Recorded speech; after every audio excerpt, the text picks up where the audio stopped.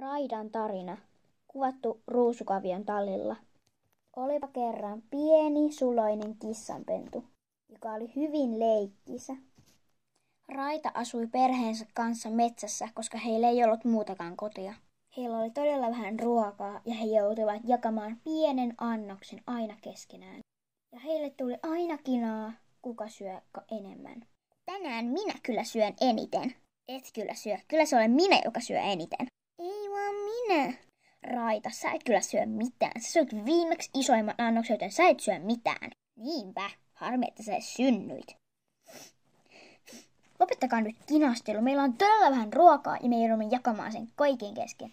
Ketään ei haukuta noin. Kaikille riittää kyllä ruokaa, myös Raidalle. Raitaa kiusattiin todella paljon hänen perheensä.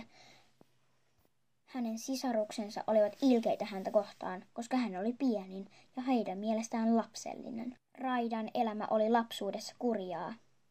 Kun äiti kissa käski, siivotkaaspas nyt roskat täältä, minä menen vähän kävelemään. Niin Raita joutui aina tekemään kaiken työn. Hei Raita, rupeapas nyt siivoamaan. Me ei kuule ruveta mitään siivoamaan, joten sun täytyy nyt vaan siivota. Niinpä, me ollaan siivottu ihan liian tarpeeksi kaikkia sunkin jätöksiä ja roskia. Sun pitää opetella itsekin siivoamaan, joten sä saat nyt siivotella. Me ei aiota auttaa sua. Raita oli hyvin yksinäinen, vaikka hänellä oli ka- kaksi sisarusta. Niinpä Raidan piti siivota ihan itse kaikki roskat. Eipä auta muu kuin ruveta siivoamaan. Raita joutui siivoamaan monta kertaa, vaikka hänen sisaruksiaan käskettiin. Ja vaikka Raita teki kuinka paljon työtä, häntä kiusattiin aina. Hei Raita, tuupas tänne! Ja Raita meni aina kaikkeen lankaan. Toi, katos, toi aurinko on tuon puun päällä, niin sitä sä et ehkä uskalla mennä hakemaan, mutta sä voit ottaa ton pesän tuolta.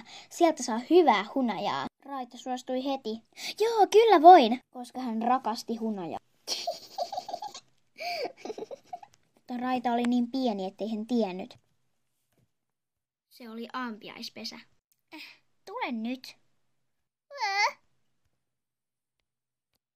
Äh. Äh. Oi hitsi. Äh. Äh. Äh. Mitä nyt? Äh. Kiitti vaan, Raita. Nyt kun sä menit pudottaa sen ampiaispesän, kaikki ampiaiset syöksy meidän kimppuun. Kiitti vaan. Eräänä kohtalokkaana yönä Raita päätti karota, karata kotoa, sillä hänellä ei ollut siellä mitään. Raita ei kadottanut yhtään. Raita ajatteli, ettei häntä edes ruveta etsimään. Ja päiviä myöten Raita kasvoi isoksi. Ui! Hän meni mihin tahansa, jopa lumeen, koska oli niin iloinen, että oli lähtenyt kotoa. Ui! Olen aivan lumen peitossa.